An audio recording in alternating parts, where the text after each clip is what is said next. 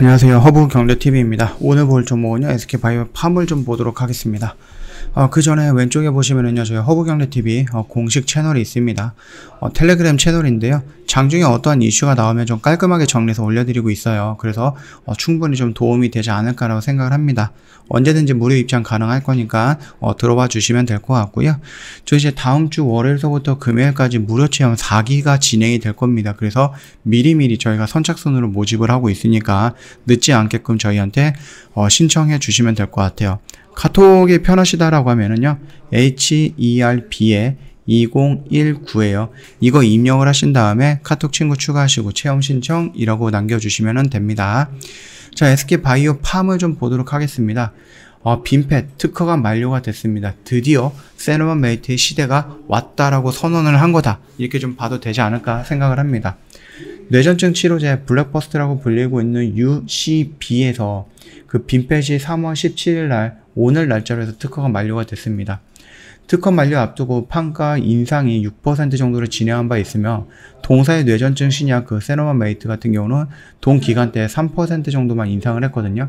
이로 인해서 미국 시장의 뇌전증 치료제 약가는 환자에게 큰 영향은 없을 것으로 판단이 되고 있습니다. 어, 빈펫의 특허 만료로 인해서 약가 급감에 되려 어, 영업 인력들이 최악의 상황으로 낮은 인센티브 뭐 이런 거겠죠. 그래서 SK Life Science로서는 우수 영업 인력 유입을 야기할 수 있을 것이다라고 기대를 하고 있는 거죠. 일단은 뭐 Xcopri와 그러니까 cenobamate입니다. 빈펫의 약호는 큰 차이가 있기 때문에 generic의 등장으로 인해서 약가 인하는 Xcopri의 cenobamate의 처방수 추이와 큰 어, 상관이 없을 것으로 좀 판단이 되고 있습니다.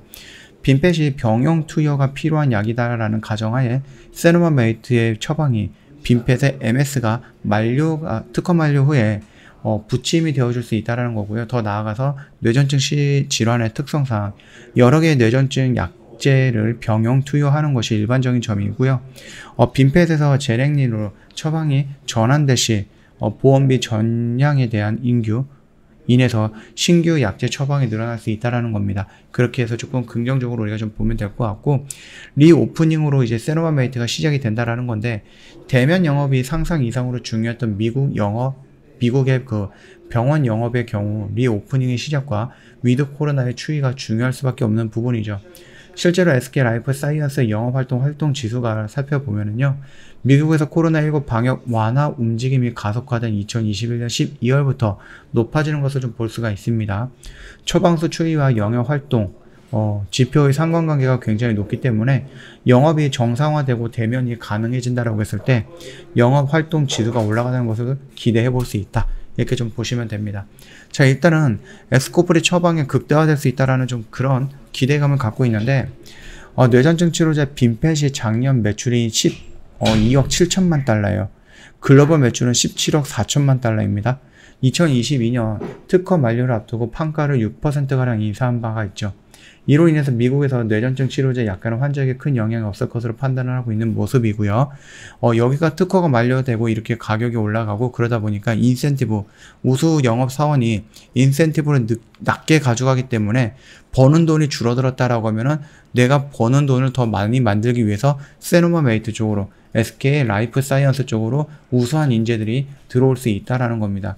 특히 아까 전에 말씀드렸듯이 이 대면 영업이 굉장히 중요한 부분이었고 이 부분까지 본다라고 했을 때는 충분히 예, 충분히 우리가 뭐 좀 영업력을 늘, 늘려나갈 수 있지 않을까라고 생각을 합니다.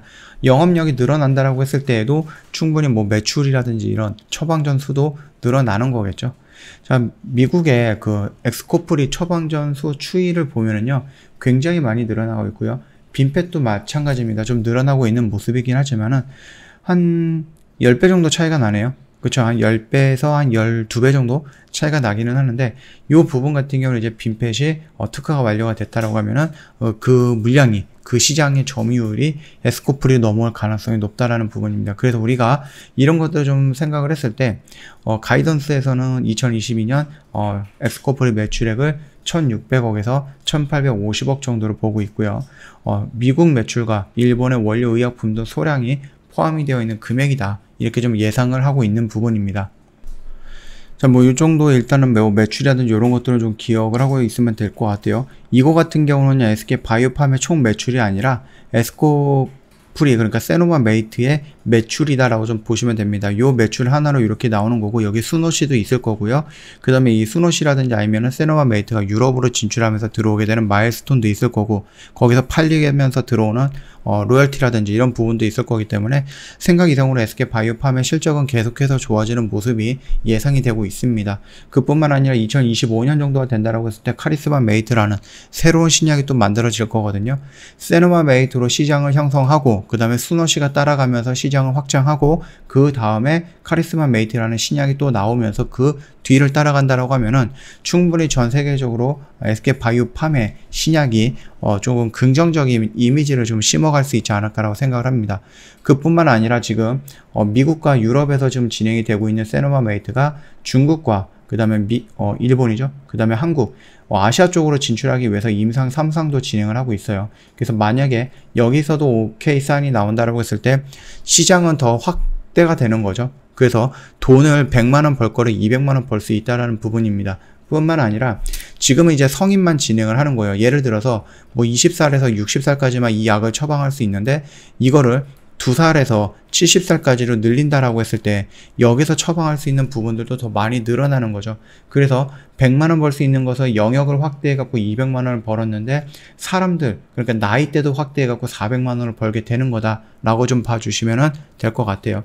그뿐만 아니라 아까 전에 말씀드렸던 빈펫이 특허가 만료가 되면서 그 시장이 조금 자유롭게 경쟁이 진행이 될 거예요. 그러면서 어 조금은 그 점유율을 조금 갖고 온다라고 했을 때 우리가 예상했던 것보다 Xcopri 그렇게 cenobamate 매출량은 조금 더 늘어날 가능성은 있고요.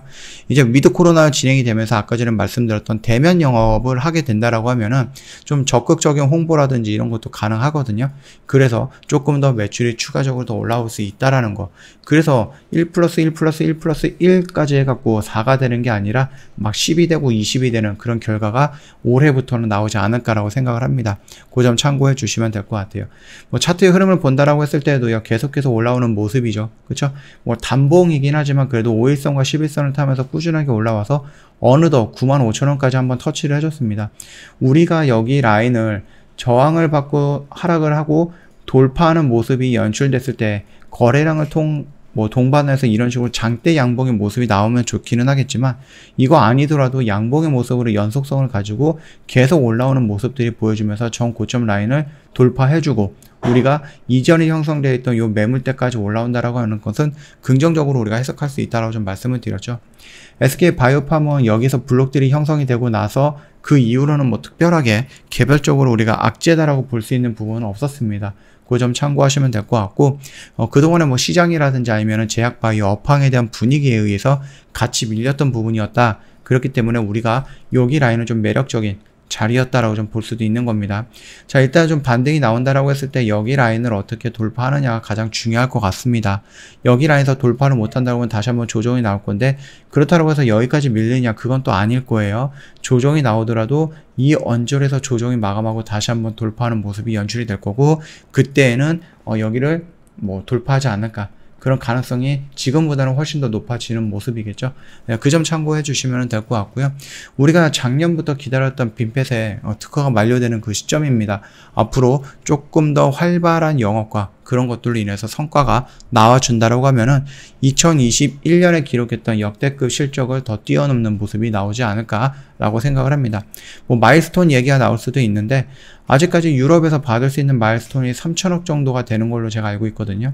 그래서 요거 같은 경우는 이제 뭐 유럽의 41개국에 진출하게 될 건데 뭐 10개국이 진출하면 몇 퍼센트가 들어오는지 이런 퍼센티지라든지 어떤 조건으로 마일스톤이 들어오는지는 잘 모르겠습니다. 아직 뭐 계약이라든지 이런 내용을 확인한 부분 은 아니라서 다만 남아있는 돈이 아직 수천억이 있다. 라는 부분까지 본다라고 하면은 뭐 2022년에도 중간중간에 마일스톤이 들어오면서 뭐 연도별 매출을 본다라고 하면은 충분히 2021년보다 더 늘어날 가능성이 높다. 이 정도까지만 좀 판단을 해주시면 되지 않을까라고 생각을 합니다.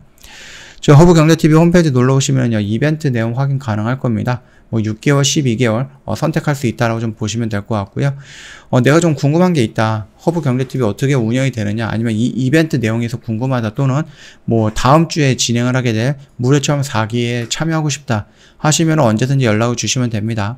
카톡은 HERP에 2019예요. 이거 입력을 하시고 저희한테 문의 남겨주시면 자세하게 설명해 드리겠다라고 좀 말씀을 드리겠고요. 오늘 뭐 지수가 좀 반등이 나왔고 어제도 반등이 나왔죠. 그래서 조금 어, 괜찮은 흐름이 좀 연출이 되는 모습을 좀 보여주고는 있지만 그래도 내일 어, 선물 옵션 동시 만기일입니다. 미국에서. 그리고 또 금요일이죠. 우리나라는. 예, 그렇기 때문에 조금 좀 보수적으로 좀 보면 될 것 같고 내일 음봉이 나온다라고 해서 여기서 뭐 쫄 필요는 없지 않을까 그렇게 생각을 하고 있으니까 참고해 주시면 될 것 같고 오늘도 고생 많으셨습니다. 영상은 여기서 좀 마치도록 할게요. 영상 도움이 됐다 그러면 구독과 좋아요 한 번만 부탁드리겠습니다.